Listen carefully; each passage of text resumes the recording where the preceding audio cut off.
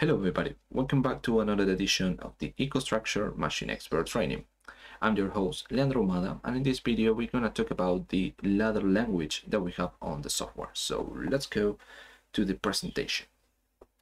So the idea on this, uh, on this part of the training is to focus on where the elements are located in the ladder language and how to build some basic uh, logic, basically how you can interact with the elements and in order to do your logic okay? This explanation that you saw in there in the in the presentation is regarding or is related to the uh, online help that i took it from the machine expert. Online help that basically explains the basics of the ladder. Basically the ladder uh, is based on contacts and coils okay? And you can read the program from uh, left to right and then it's similar to a circuit, a network circuit that's started from the left or the high from the left for the high potential, and then it goes to the right um, where they have the low potential. Okay, high to low. It's like a closing a circuit, and in the middle from the contacts and coils, you can use some function blocks. Okay, that's probably something new or it's not new, but uh, it extends to the ladder. Okay, and it goes a little bit for the function block diagram. So once we have created a POU on the machine expert as a type of the language as ladder, we have different kind of views at different elements. So that's what we cover in this video. So if we continue with the presentation, okay. Here's is explanation how to add basically a POU. If we go to right click from one of the tools tree, uh, the application tree, you should be able to add the POU, change the name that you have. Let me just, do, do, do. Yep, change the name that you have. Then you have the possibility to select the different type of POUs, okay? And below you can see the language. If you want to use ladder, we just need to select this. And if you select the ladder, next to the POU that you have already created, you should be able to see a contact over there. Now, just change this view to this view. So once you create the POU, okay, you can see in the top this toolbar. And here is a small explanation of the different toolbars that we have.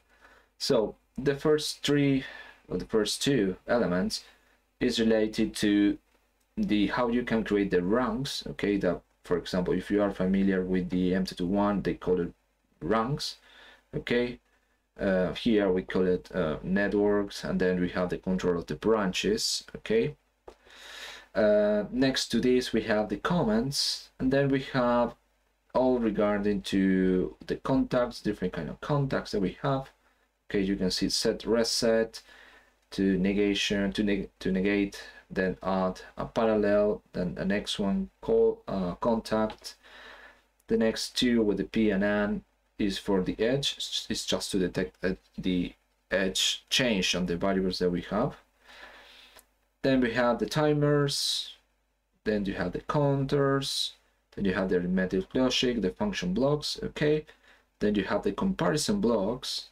Next to it you have the calling functions and here it's an extend but uh, we cover but we cover this in details later because the idea is to give you an overview where to find the elements and then in another video I'm going to show you how to use them in a different kind of language. Okay that's the idea. So you can compare later. So if we continue with this you have the jump then the label also to have the return and here you have also the same functionalities that you have before over here. So if we continue with this those elements that you have on this toolbar, they are also accessible on the toolbox. So if you're unable to see the toolbox, you should be able to access into the view, then software catalog, and then the toolbox we should be enabled over there. This view that you see over here is not the same as the software. I made some modifications uh, so I can show you all of them. Okay, but as you can see here uh, you can see the complete or the same uh, different blocks that I showed you before. Uh, all of these are basically the same, okay, as I show you in here, this part over here. Then you have the, the, the, the timers. These one are different compared to the to, to, to the age that they are not in there. Um, I didn't go, I didn't want to go in details, but you have the coils with with the you have the contacts with the possibility to detect the edge, and then you have the possibility to add a function block so you can detect the complete edge. Uh, but I'm going to cover that later. The idea now is to give you an overview where to find the stuff or, or the different elements of the software. Okay, so let's continue with the presentation. Then something useful is to modify the view that you have of the of the ladder. Okay, you also have the instruction list and function block diagram, but I'm going to focus only on the ladder. Okay, you have the possibility to select different views of the elements that you have. Okay, that in order to access to this, we just need to go to tools, options, and then select the function blocks FBD, LD, and LID IL editor. Okay, so what I want you to test is how to get familiar with this. So what we're going to try to do is to not define variables over here. Okay, we're going to go over that later another video, but I'm going to get familiar how to design these drawings. Okay, so let's start by creating a POU first. So if we go to the software, we should be in applications three over here, right click, add object, POU. I'm going to define POU ladder. Okay, it's just a name. Here, the implementation language as a program. As you can see here in the top, this toolbar has appeared. Okay. And once you select the network, you should be able to be able to see some of the variables. If you want to add more rungs on network, we just need to press this. Okay. If you want to insert, to just add a new one, let me just add something here. Okay, this one is to be insert. It's going to be above, below. Okay, and this one is going to create a new one. Okay, at the bottom. Uh, next, above this one. Okay, so this one just create insert the new one so in the in the network that you have on the network it will create a new one okay and this one is going to create only one below you can see in there just a small arrow indicating that if you use this one it will toggle it will comment the rung that you have you can see it's everything in green okay so let's delete all this that we have okay now, if you add some additional function blocks, as you can see over here, this should be over here. Okay, in the presentation, I didn't show anything over there. Okay, it wasn't open because it will depend on your application that you have. So if we go back to software over here, so this is easy. We just need to click on the device or click on the on the network and then select one of the positions in order to add something new. Okay? Easy as that. Then if you want to have a different coil okay a different or another action we just need to enable this insert branch then you should be able to add another coil over there okay it's simple, easy. If you want to add a variable over there or a function block, you just need to select one position on the network and then you can use the empty. Okay, this one basically add a function block with the enable input and enable output. This. And then here you just need to find the function block that you want or you can use this one okay to add the variable that you have if you select this it will ask you to find first the the function block that you want and then you will add it okay but this one is going to be much easier to identify. So I'm going to delete this. Now let's try to make the the drawing that we have over here. Just done a minute. So we just need to add a new network okay i'm going to add a coil here i'm going to add this move variable that if you go to the toolbox general you should be able to see the move or it should be the move over there. Okay ladder elements. You can drag and drop it and define where you want to put it. Move. Then I need to add a branch over here okay? But sometimes when you don't you are not able to see this to add this part okay? What I usually do is to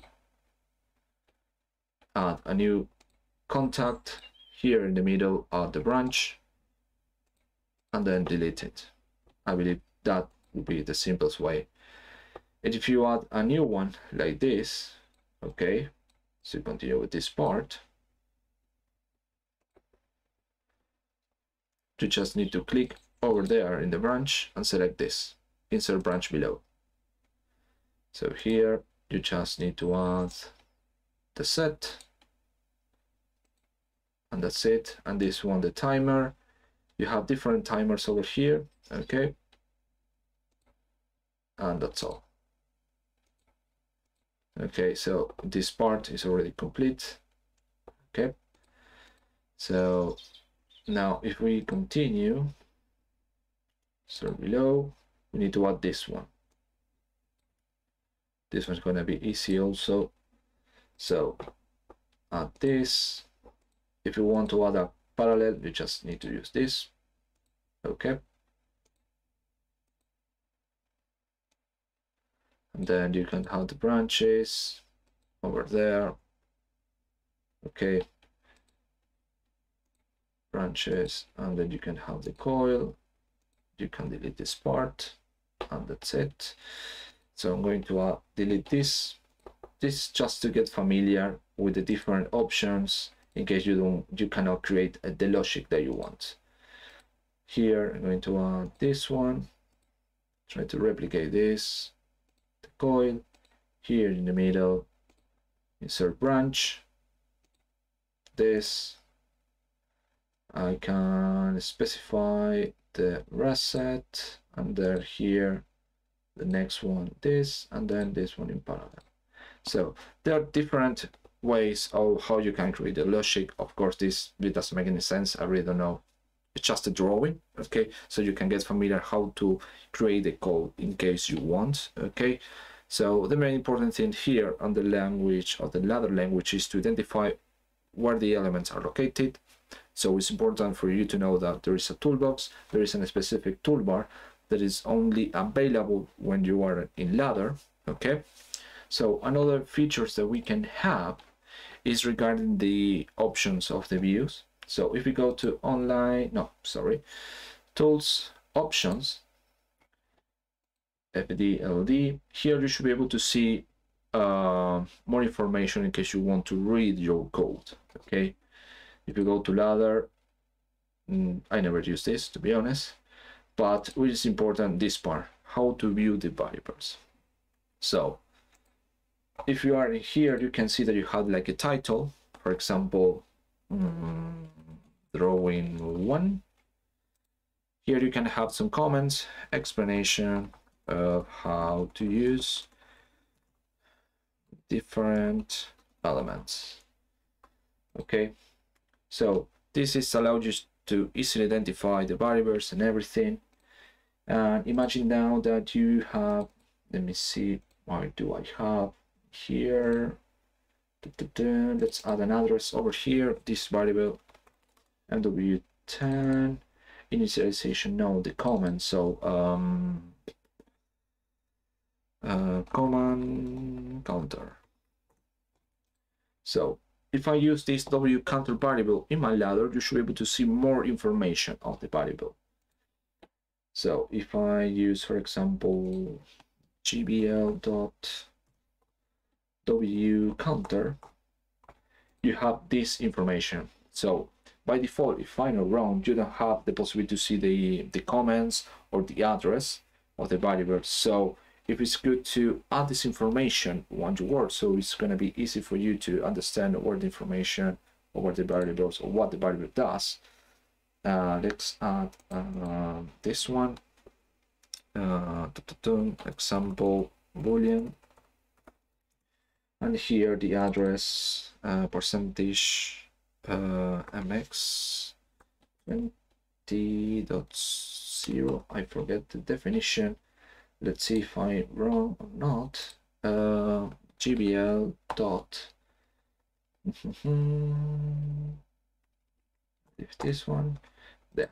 So you can see there you have more information. So probably it's going to take more more views okay but uh, more space on your screen but it's going to be useful for you if you have defined uh, comments and then you also see the the modbus address for the variable you can also zoom in zoom out with using the control and the wheel. Okay you can zoom in zoom out in case you want it. So this is good. Okay. The other thing that you can see I'm going to show you I don't remember by default what is the view uh, but you can check it on your side. So network title is this one set drawing. Show network comment is this one explanation. Uh, show box icon is the icon if the function block has an icon. Operand comment I don't remember to be honest. Uh, but here you can select this and check it and check the comments and you can see what is going to be the view. It's going to be a simple way. But it's also it's useful to have the complete view and all the values that you have just to easily read the code when you're working with it. Okay so mm, this is it for the ladder language. Remember that this is only an overview of how to find the elements. Is not the complete explanation how to make the logic. And I'm going to explain the how to create the logic in this part.